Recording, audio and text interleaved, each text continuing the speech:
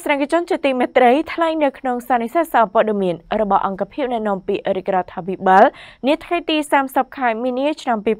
2023លោកកុងសោផាន់អភិបាលខេត្តកណ្ដាលបានឲ្យដឹងថាការចុះបញ្ជីដីធ្លីជាប្រព័ន្ធជូនប្រជាពលរដ្ឋនៅទូទាំងខេត្តកណ្ដាលនិងសម្រេចរួចរាល់ទាំងស្រុងនៅក្នុងខែមេសាឆ្នាំនេះ។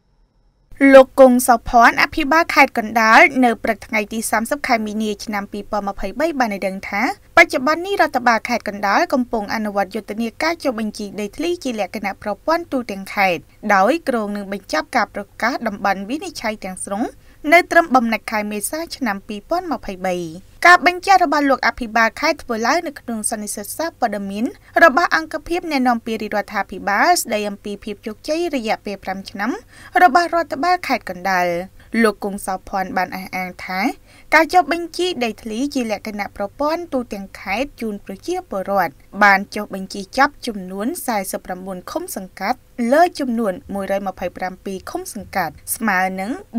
431ភូមិឬស្មើនឹង42.7%គិតជាបានបានចំនួន336,688បាន នៅក្នុងនោះក្រុងតាខ្មៅនិងស្រុកកណ្ដាលស្ទឹងបានចុះបញ្ជីចាប់ជាស្ថាពរបន្តមកទៀតគឺកំពុងអនុវត្តនៃការចុះបញ្ជីចំនួន50ឃុំសង្កាត់ដែលមានចំនួន390ភូមិស្មើនឹង38.6%និងមិនទាន់បានចុះបញ្ជីចំនួន28ឃុំសង្កាត់ឬស្មើនឹងចំនួន189ភូមិឬស្មើនឹង18.7%ដោយឡែកការចុះបញ្ជីដីរដ្ឋមានចំនួន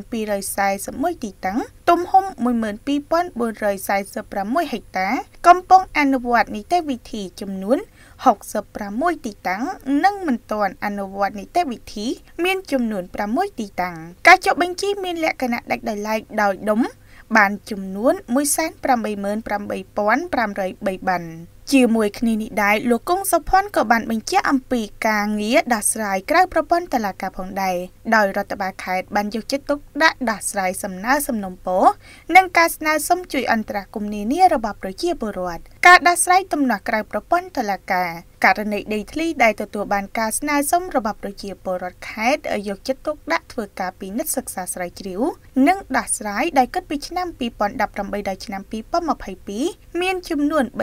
344ករណីនៅក្នុងនោះដោះស្រាយបញ្ចប់បានចំនួន218ករណីនិងបន្តសិក្សាស្រាវជ្រាវមានចំនួន126ករណីការឆ្លើយតបរបស់ក្រសួងមហាផ្ទៃពាក់ព័ន្ធទៅនឹងការចុះផ្សាយរបស់សារព័ត៌មាននិងការ comment ចូល page របស់សម្ដេចក្រឡាហោមសខេងគិតចាប់តាំងពីឆ្នាំ2018ដល់ឆ្នាំ2022មានចំនួន130ករណីនៅក្នុងនោះករណីបានឆ្លើយតបរួចមានចំនួន112ករណីនិងករណីបន្តដោះស្រាយមានចំនួន18ករណី